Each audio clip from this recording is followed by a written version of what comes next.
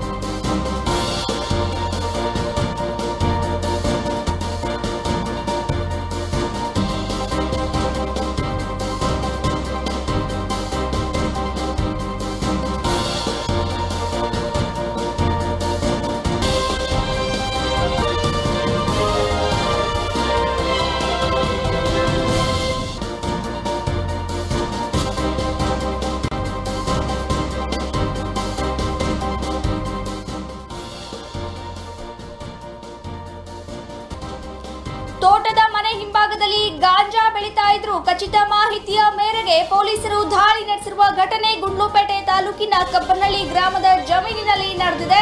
ಕಬ್ಬನಹಳ್ಳಿ ಗ್ರಾಮದ ಮಣಿಕಂಠ ಎಂಬುವನನ್ನ ಬಂಧಿಸಿದ್ದಾರೆ. ತೋಟದ ಮನೆಯ ಹಿಂಭಾಗದಲ್ಲಿ ಬೆಳೆಯಲಾಗಿದ್ದ ಗಾಂಜಾ ಗಿಡಗಳು. ಖಚಿತ ಮಾಹಿತಿಯ ಮೇರೆಗೆ ಪೊಲೀಸರು ದಾಳಿಯನ್ನ ನಡೆಸಿದ್ದಾರೆ. ಗುಂಡ್ಲುಪೇಟೆ ತಾಲೂಕಿನ ಕಬ್ಬನಹಳ್ಳಿ ಗ್ರಾಮದ ಜಮೀನಿನಲ್ಲಿ ಬೆಳೀತಾ ಇದ್ರು. ತೋಟದ ಮನೆಯ ಹಿಂಭಾಗದಲ್ಲಿ ಗಾಂಜಾ ಬೆಳೀತಾ ಇದ್ರು. ಪೊಲೀಸರ ಗಮನಕ್ಕೆ ಬಂದು ಖಚಿತ ಮಾಹಿತಿಯ ಮೇರೆಗೆ ದಾಳಿಯನ್ನ ನಡೆಸಿದ್ದಾರೆ. ಆರೋಪಿಯನ್ನ ನ್ಯಾಯಾಂಗ ಬಂಧನಕ್ಕೆ ಒಪ್ಪಿಸಿರುವ ಬೇಗೂರು ಪೊಲೀಸರು ಎಸಿಗ ನೋಡ್ತಾ ಇದ್ದೀರಾ? ತೋಟದ ಮನೆಯ ಹಿಂಭಾಗದಲ್ಲಿ ಗಾಂಜಾ ಬೆಳೆದಿದ್ದಾರೆ. ಎಷ್ಟೊಂದು ಇದಕ್ಕೆ ಅಂದ್ರೆ ಬ್ರೇಕ್ ಬೀಳ್ತಾನೆ ಇಲ್ಲ. ಇತ್ತೀಚಿನ ದಿನಗಳಲ್ಲೂ ಕೂಡ ಎಲ್ಲೆಲ್ಲೋ ಕಡೆ ಕೇಳ್ತಾ ಇದ್ದೀವಿ ನಾವು ಸುದ್ದಿಗಳು ಹೀಗೆ. ತೋಟದ ಮನೆಯ ಹಿಂಭಾಗದಲ್ಲಿ ಅಥವಾ ಒಂದು ಜಾಗದಲ್ಲಿ ಒಂದು ಜಾಗವನ್ನ ನಿರ್ಮಿಸಿಕೊಂಡು ಅಲ್ಲಿ ಗಾಂಜಾವನ್ನ ಬೆಳೀತಾ ಇದ್ದಾರೆ. ಕದ್ದು ಮುಚ್ಚಿ ಗಾಂಜಾ ಬೆಳೀತಾ ಇದ್ದಾರೆ. ಖಚಿತ ಮಾಹಿತಿಯ ಮೇರೆಗೆ ಪೊಲೀಸರು ಅಲ್ಲಿ ದಾಳಿಯನ್ನ ನಡೆಸಿದ್ದಾರೆ. ಬೇಗೂರು ಪೊಲೀಸರು ಆ ಜಾಗಕ್ಕೆ ಹೋಗಿ ಕಬ್ಬನಹಳ್ಳಿ ಗ್ರಾಮದ ಮಣಿಕಂಠ ಎಂಬುವನನ್ನ ಬಂಧಿಸಿದ್ದಾರೆ.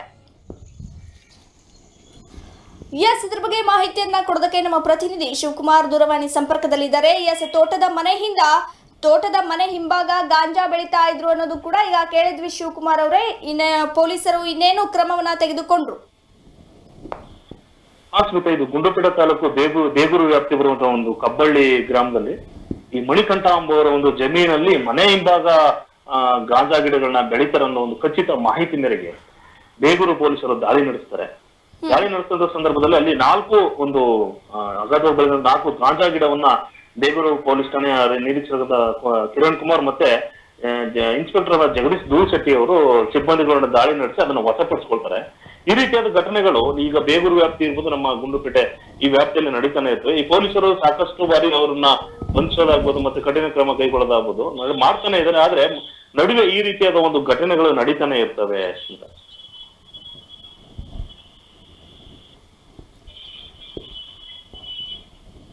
ಶಿವಕುಮಾರ್ ಕೇಳಿಸ್ತಿದೀಯಾ? ಈಗ ಆರೋಪಿಯನ್ನ ಬಂಧಿಸಿದ್ದಾರೆ ಅಂತ ಕೇಳ್ಪಟ್ವಿ. ಬಂಧಿಸಿದ್ದಾರೆ ಆರೋಪಿಯನ್ನ? ಆ, ಈ ಪ್ರಕರಣಕ್ಕೆ ಸಂಬಂಧಪಟ್ಟಂತೆ ಒಬ್ರು ನಮ್ಮ ಗ್ರಾಮದ ಕಬ್ಬಳ್ಳಿ ಗ್ರಾಮದ ಮಣಿಕಂಠ ಎಂಬ ಒಬ್ಬರನ್ನ ಬಂಧಿಸಿದ್ದಾರೆ.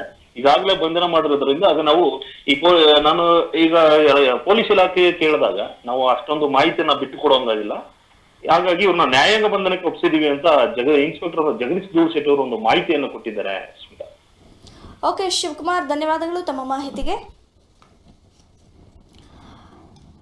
ಸಿಗಾ ಕದ್ದು ಮುಚ್ಚಿ ಈ ರೀತಿಯಾಗಿ ಗಾಂಜಾ ಬೆಳೀತಾ ಇದ್ರು. ಖಚಿತ ಮಾಹಿತಿಯ ಮೇರೆಗೆ ಪೊಲೀಸರು ಅಲ್ಲಿ ದಾಳಿಯನ್ನು ನಡೆಸಿದ್ದಾರೆ ಅಂತ ಹೇಳಿದ್ರು. ಇನ್ನು ಆರೋಪಿಯನ್ನ ಕೂಡ ಬಂಧಿಸಿದ್ದಾರೆ.